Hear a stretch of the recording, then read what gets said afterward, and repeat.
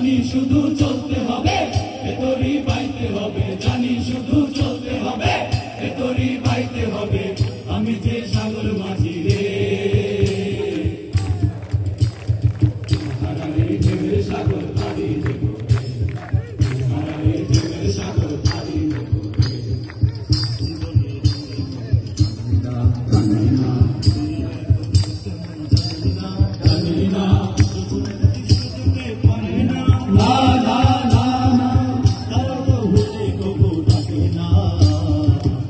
don't hear